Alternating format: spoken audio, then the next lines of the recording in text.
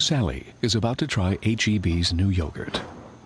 After two years of development and input from food flavor specialists and customer taste tests, the result is extraordinary. Let's see how Sally reacts. She likes it. She's obviously very excited about HEB's creamy new yogurt.